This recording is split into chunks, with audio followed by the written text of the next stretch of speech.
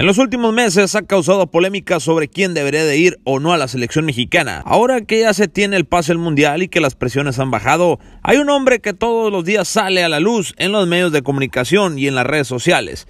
Se trata de Marcelo Flores, el chico de apenas 18 años de edad que milita en las inferiores del Arsenal y que tiene la esperanza de subirse de último momento en el barco rumbo al Mundial de Qatar 2022 en una pelea incesante por si se va con Canadá, Inglaterra o se queda con México. Hoy en día lo único que se necesita para mantenerlo es darle minutos en tres partidos de la selección mayor tipo A, estos cuáles son, las de fecha FIFA o torneos oficiales, con lo cual se podría amarrar al jugador por completo. El futbolista ya debutó en la mayor, pero en un partido amistoso ante Chile teniendo algunos minutos. Sin embargo, eso no es suficiente para mantenerlo. Ahora parece que se abre una nueva esperanza para los aficionados mexicanos que lo quieren ver, ya que debido a las muy buenas actuaciones de Marcelo en las inferiores del Arsenal de Inglaterra y con el Tri Sub-20, estas sin dudas no han pasado desapercibidas por el Tata Martino, quien ha despertado un interés en él y se le ha metido en la mente para sumarlo en la lista de los jugadores que integrarán la convocatoria para el partido amistoso de la selección mexicana mayor ante Guatemala el próximo 27 de abril en la ciudad de Orlando, Florida. Atención con este dato, la dirección de selecciones nacionales ya está trabajando con la directiva del Arsenal para que puedan prestar a su jugador y no tenga ningún problema para viajar a Estados Unidos, ya que no es en fecha FIFA el duelo y por lo tanto ningún club está obligado a ceder a sus jugadores. Este partido ante Guatemala sin duda es un gran paso ya que se estaría acercando para ser parte de la lista que participe en la primera jornada de la Liga de Naciones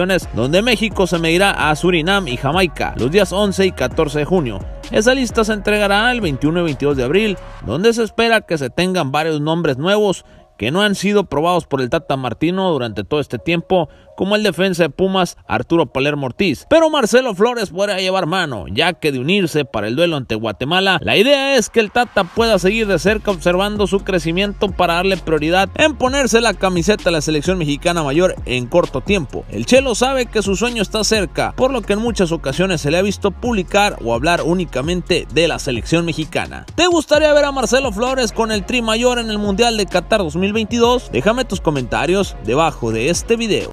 Te gustó el video, te invito a que te suscribas y le des like. Comparte para que esta información llegue a más personas. Activa la campanita para que recibas la notificación de mi próximo video. Y deja tus comentarios sobre la información que te acabo de mostrar. Muchas gracias, yo soy Iván Elenes. Hasta la próxima.